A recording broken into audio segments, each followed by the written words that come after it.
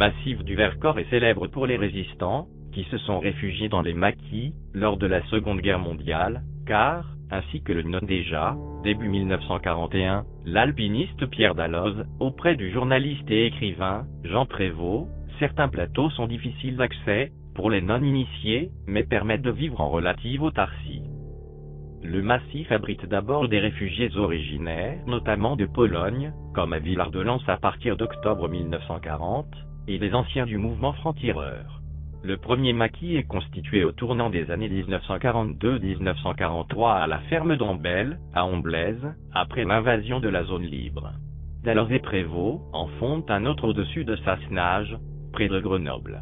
Leur nombre croît rapidement. Ils sont d'abord constitués essentiellement de jeunes Français, voulant échapper au service du travail obligatoire, STO établi le 16 février 1943. Durant l'année qui suit, la résistance se limite à quelques actions contre les forces italiennes, occupant, dans un premier temps, la région.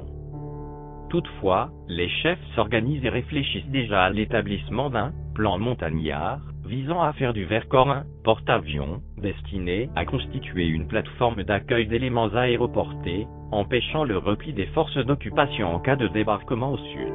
Ainsi, sur demande de Dalloz, le commandant Marcel Pourchet de l'école militaire de haute montagne de Chamonix rejoint le massif et entreprend de recenser les capacités logistiques et les sites stratégiques. Il doit toutefois quitter le Vercors en mai. Alain Leray devient donc le premier chef militaire du maquis du Vercors. Le plan est accepté par le Comité national français installé à Londres. Le journaliste Yves Farge, correspondant de Jean Moulin, veillant à l'organisation militaire, et Eugène Chavant, chef civil issu du mouvement franc-tireur, chargé de la maintenance, se joignent au projet. La résistance bénéficie du soutien de la population et mène des actions de guérilla, le premier parachutage d'armes et de matériel a lieu dans la plaine de Darbounouz, en novembre 1943. Drapeau de la République libre du Vercors, juin-juillet 1944. Les premières attaques allemandes contre le Vercors ont lieu durant l'hiver 1944. En avril, la milice française dirigée par Raoul d'Agostini mène des actions de répression à Vassieux. François Huette est à son tour nommé chef militaire. Toutefois, la situation bascule à l'été 1944. La veille du débarquement de Normandie, le Code, le chamois des Alpes bondit, annonce la mobilisation de tous les combattants du massif, rejoints par des centaines de jeunes volontaires inexpérimentés. Huette tente d'organiser les 4000 maquisards, tout en évitant que se referme sur eux le piège de la forteresse. Malgré les dénégations et mises en garde du général Marie-Pierre Koenig, les combattants croient à des parachutages massifs d'armes lourdes. Par défi, ils déploient à Saint-Nizier un immense étendard tricolore visible par les Allemands depuis Grenoble. En réponse, le général Karl Pflom lance, du 13 au 15 juin, une offensive de 15 000 hommes appuyée par d'importantes troupes aéroportées. Elle est fatale à ce maquis, qui, malgré les appels à l'aide de Huet auprès des autorités d'Alger, doit se replier dans le sud Vercors. Le porche d'entrée de la grotte de la Huire sert brièvement d'hôpital de campagne au maquis. Lorsqu'il est découvert, 34 des 35 blessés, ainsi que les deux médecins sont exécutés, tandis que les sept infirmières sont déportées. Pourtant, la République libre du Vercors est officiellement proclamée le 3 juillet. Le 13, le Vercors est bombardé une première fois, puis soumis à des mitraillages quotidiens. Malgré des parachutages les 7 juin, 25 juin et 14 juillet, le maquis reste sous-équipé.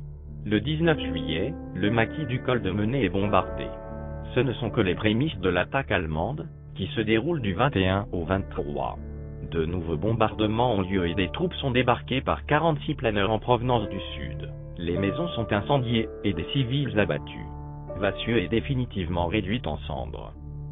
Dalloz, se sentant abandonné, écrit à destination d'Alger, Vous êtes des criminels et des lâches, le hameau de Val-Chevrière, aux ordres de Jean Prévost, et dirigé par le lieutenant Chabal, est rasé après qu'ils ont tenté de freiner au maximum l'avancée des Allemands. L'ordre de dispersion est donné par Huette. Cette décision sauve la vie à de nombreux maquisards.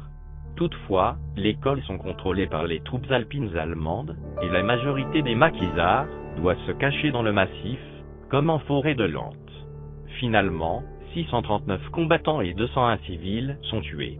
Le 26 juillet, Alger reçoit le télégramme suivant. Tous ont fait courageusement leur devoir dans une lutte désespérée et portent la tristesse d'avoir dû céder sous le nombre et d'avoir été abandonnés seuls au moment du combat.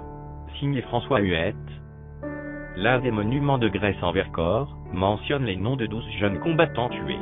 Le maquis du Vercors est anéanti, mais sa résistance permet de retenir plusieurs divisions allemandes au moment des opérations au Vélord en Normandie, et surtout en ville Dragoun en Provence, si bien que les troupes alliées débarquées au sud mettent seulement 6 jours au lieu des 90 prévus pour rejoindre Grenoble. À la fin de la guerre, Vassieux-en-Vercors est élevé au rang de compagnon de la Libération, avec quatre autres communes méritantes de France. Un mémorial est bâti au centre de Vassieux, plus tard au col de la Chaux, au-dessus du village, en l'honneur des maquisards. Il est inauguré par le Premier ministre français de l'époque, Édouard Balladur, le 21 juillet 1994.